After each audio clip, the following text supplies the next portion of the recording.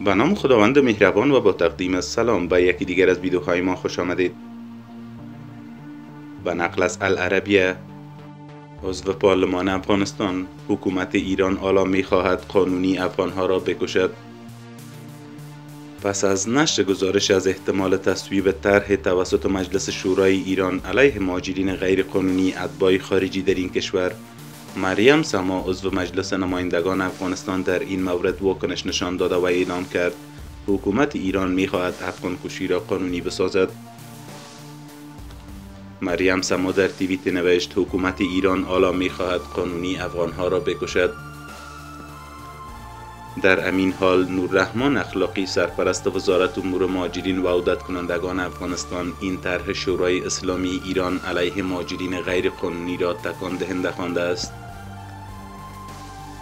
اخلاقی در تیویت نوشت محتوای طرح ارائه شده از سوی تعداد از نمایندگان مجلس شورای اسلامی جمهوری اسلامی ایران را در مورد اتباع خارجی غیر مجاز خواندم که در آن متاسفانه موارد تکان دهنده مطرح شده است. امیدواریم برخورد مجلس شورای اسلامی با این طرح مبتنی بر حقوق اسلامی حقوق بشری و حسن همجوری باشد. او اضافه کرد در حالی که ما در قبال همه شهروندان افغانستان با مسئولیت پذیری تمام عمل می کنیم و همیشه بر عودت داوطلبانه و قانونی ساختن حضور شهروندانمان در کشورهای دیگر تاکید کرده ایم. انتظار داریم حقوق بشری افغان ها در همه کشورها رعایت گردد. 25 سال زندان و جریمه نقدی برای مهاجرین غیرقانونی افغان در ایران. شمار از رسانه های ایرانی پنجشنبه 26 نوامبر 2020 از احتمال تصویب طرح توسط مجلس شورای اسلامی ایران خبر دادند که بر اساس آن مهاجرین غیرقانونی اتباع خارجی به شمول پناهجویان افغان به 25 سال زندان و 100 میلیون تومان جریمه نقدی محکوم خواهند شد. مشرق نیوز نوشت قرار است در مجلس شورای اسلامی ایران به زودی برای طرحی رای گیری شود که در صورت تصویب نهایی آن حبس 25 ساله و جریمه 100 میلیونی برای اتباع خارجی غیر مجاز در نظر گرفته شود. این ساید خبری در ادامه نوشت مجلس شورای اسلامی اخیرا طرح با عنوان سازماندهی اتباع خارجی غیر مجاز را اعلام و وصول کرد که قرار است به زودی برای آن رای گیری شود.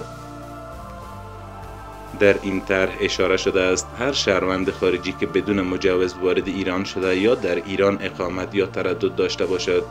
علاوه بر اخراج از این کشور به مجازات درجه یک حبس بیش از 25 سال جزای نقدی بیش از یک میلیارد ریال و مصادره کل اموال محکوم می شود بر اساس این طرح تصمیم در مورد اخراج اتباع غیرقانونی زندانی و یا جریمه نقدی آنها به دادگاه واگذار شده است. همچنان بر اساس این طرح موترهای خودرو که عامل مهاجرین غیرقانونی است به ایست بازرسی توقف نمی کند. ماموران امنیتی اجازه تیراندازی به سوی آنها را دارند. شایان ذکر است که این خبر در شرایط نشر شده که در سال جاری دو حادثه مرتبط به مهاجرین افغان در ایران رخ داد که پس از گذشت یک ماه از حادثه به رودخانه انداختن مهاجرین افغان توسط نیروهای ایرانی حادثه دیگری که تیراندازی نیروهای انتظامی ایران به خودروی موتر حاملین پناهجویان افغان در شهر یزد بود رخ داد که در این تیراندازی موتر یاد شده حریق شده و در نتیجه سه افغان بر اثر جراحت و سوختگی جان باختند و شماری نیز زخم برداشتند. هیئت افغانستان به تاریخ 21 جون امسال به ریاست محمد عنیف اتمر سرپرست وزارت امور خارجه این کشور در سفر دو روزه وارد تهران شد. با مقام های ارشد ایرانی از جمله محمد جواد ظریف وزیر امور خارجه ایران در مورد مسائل مختلف دو کشور از جمله حوادث ناگوار اخیر علیه ماجدین افغان صحبت کرد. وزارت امور خارجه افغانستان به تاریخ 22 ژوئن امسال اعلام کرد. هیئت کابل در سفر دو روزه به تهران در زمینه های مسئولیت اتباع افغان پیگیری جدی حوادث اخیر مرتبط به جان باختن افغان ها در ایران و راه های جلوگیری از تکرار این حوادث به توافقات دست یافتند.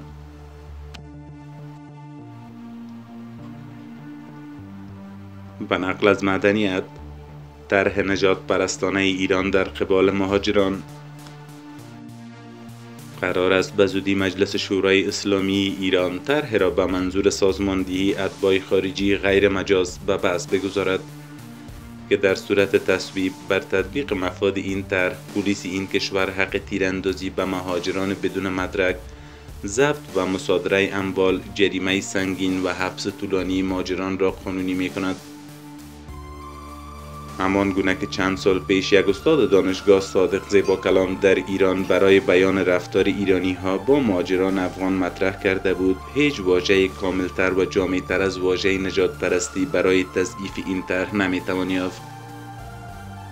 البته هنوز امید است که این طرح از سوی مجلس ایران رد شود ولی اگر این طرح به تصویب و تبدیل به قانون شود نمی‌توان این رفتار دولت ایران را صرفا مغرضانه ناقض اصول اولیه حقوق بشر غیر اسلامی غیر اخلاقی و مغایر با کنوانسیون های بین‌المللی در مورد حقوق پناهندگان و آوارگان تصویب کرد و ناشی از کش سلیقه‌ای و تعصب چند مقامدان است.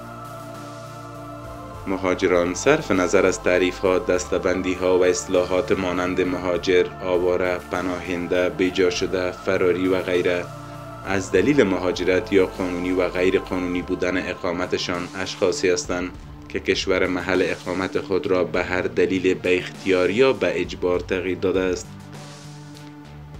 واقعیت تلخ این است که کشور ما در وضعیت قرار دارد که بسیاری زندگی در دیار غربت را به زندگی در وطن ترجیح دادند. اما واقعیت تلختر آن که همسایگان ما علا رغم داشتن پیوندهای عمیق فرهنگی، زبانی و فرهنگی و پذیرفتن کنوانسیون های بین‌المللی مهاجرت و پناهندگی رفتار ناشیست و تبعیض‌آمیز با مهاجران رسمی و قانونی بسیار گسترده و خلاف موازین حقوق بشری است. چه رسد به مهاجران غیر قانونی که همیشه قربانی دم دست بودند به ویژه برای جمهوری اسلامی ایران.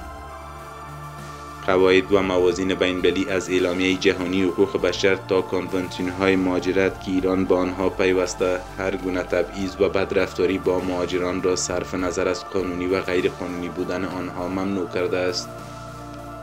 افزون بر این اتباع خارجی به محض اینکه به عنوان پناهجو از سوی کشور میزبان پذیرفته می شوند باید از همه حق و حقوقی که اتباع آن کشور برخوردار هستند برخوردار شوند. به عبارت پناهجو شهروند مسود می شود و پناهجو چه قانونی و غیر قانونی پس از مدت و طی مراحل مشخص اداری به شهروندی دائمی کشور میزبان در می آید دوستان عزیز از اینکه تا آخر ویدیو با ما بودید جهان سپاس. ویدیوهای ما را کامل like و subscribe نمایید. تا ویدیوی بعد الله نگهدار.